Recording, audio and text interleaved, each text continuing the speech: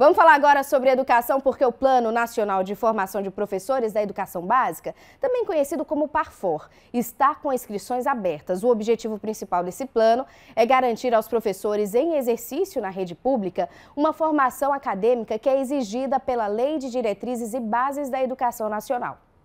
A Universidade Federal do Piauí prorrogou o prazo de inscrições para os quatro novos cursos ofertados pelo Parfor Equidade. Esse é um programa nacional de fomento à equidade na formação de professores da educação básica. Aqui no Piauí, 14 municípios foram contemplados com o programa em 2024. E o novo prazo para as inscrições segue até o dia 22 de julho. Em Picos, o programa está ofertando licenciaturas em Educação Especial Inclusiva e Educação Bilíngue para surdos. Mas alguns outros municípios piauienses foram contemplados também com licenciaturas em Educação Escolar quilombola e pedagogia intercultural indígena.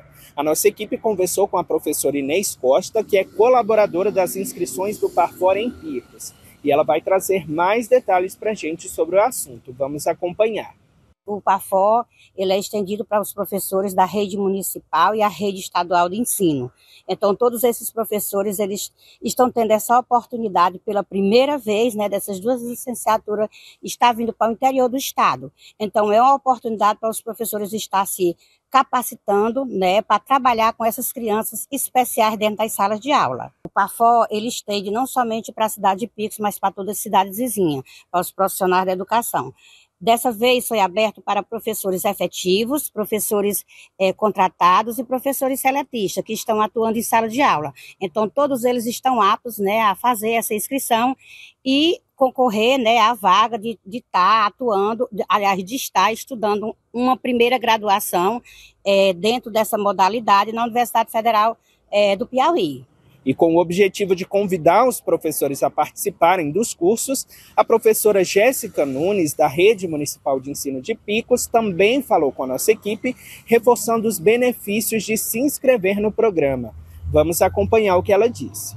Uma licenciatura como essa, na área da inclusão, é, acaba agregando positivamente no meu currículo não só no currículo, mas no meu desempenho profissional em sala de aula. Você que é professor da rede municipal de Picos e regiões vizinhas, faça suas inscrições, estejam atentos aos prazos e participe. Será um momento de construção de conhecimento, onde, com toda certeza, nós iremos desenvolver melhor as nossas aulas. Vai ser um momento de conhecimento, de agregar conhecimento.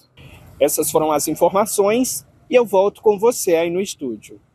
Obrigada, Danilo Parfor, que já é um programa de muitos anos, serve exatamente para formar os professores da educação básica é toda uma estrutura. Então, normalmente, quem forma esses professores são professores da Universidade Federal. E a universidade leva esses professores até a cidade, até o polo. No caso, Picos, né, nosso correspondente, estava passando as informações. E estes professores formam. Então, você pode ter uma primeira graduação, uma segunda graduação, enfim, é a descentralização da educação.